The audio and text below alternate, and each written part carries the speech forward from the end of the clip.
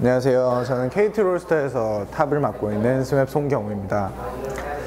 어, 정말 오랜만에 이제 SKT를 이기게 됐는데 사실 뭐 다른 선수들은 잘 모르겠어요. SKT라서 좀 더 이기고 싶은 마음이 컸겠지만 저는 어, 사실 저 지금 저희 상태에서 오늘 경기가 정말 중요하다고 생각했거든요.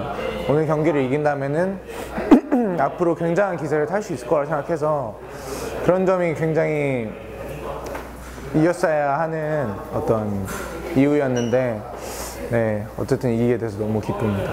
어, 아직은 많이 부족하다고 생각하고요. 그렇지만 저희가 지금 연습하는 방향대로라면 정말 언제가 될지 모르겠지만 정말 최고의 팀이 될 수 있다고 확신하고 있기 때문에 네 저희는 자신 있습니다 지금. 어, 네, 굉장히 아쉬웠고요. 그렇지만 그 패배로 인해서 무너지는 게 아니라 이렇게 또 MVP전 승리하고 오늘도 승리하게 됐, 기 때문에 어, 아쉽긴 하지만 그래도 충분히 이겨낼 수 있는 문제라고 생각합니다. 어, 최근에 제가 진짜 잠을 너무 못 잤었거든요. 불면증도 좀 심하고 그래가지고 잠을 못 잤었는데 오늘은 정말 잠을 푹 잤거든요. 그래서 뭔가 오늘 뭔가 느낌이 두 번째 판 졌을 때도 굉장히 좋았고 이길 것만 같은 그런 느낌이었습니다. 굉장히 운영을 잘하고 있었는데 한 번 저희가 팀적으로 좀 판단을 실수해서 어, 거기서 한 번에 이제 바로 먹히면서 한 번에 굴러간 게 사실 컸다고 생각하고요. 근데 어쨌든 저희의 한 번의 실수로 그렇게 끝난 거라서 저희가 기죽을 필요는 없다고 생각했어요. 어, 마지막까지 승리를 확신하기 힘들었고요. 어쨌든 저희 조합 자체가 완성도가 높은 조합이기 때문에 어, 한타에 대한 자신감은 항상 있었어요.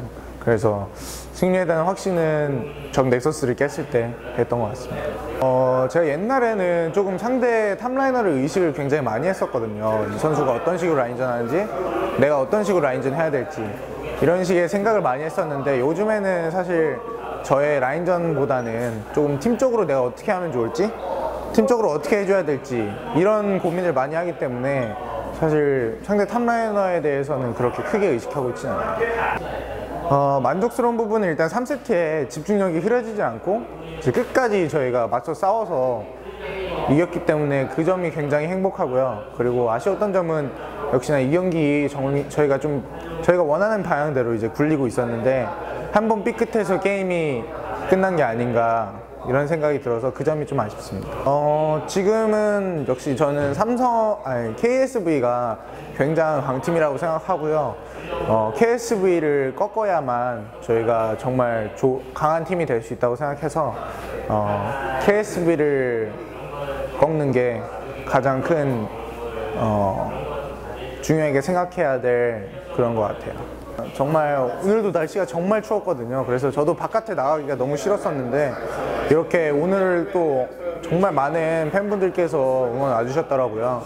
그래서 너무 감사하다고 말씀 전하고 싶고 앞으로 또 열심히 저희 정말 열심히 준비하고 있거든요. 그래서 정말 기대해 주셔도 좋다고 생각합니다. 항상 너무 감사드립니다.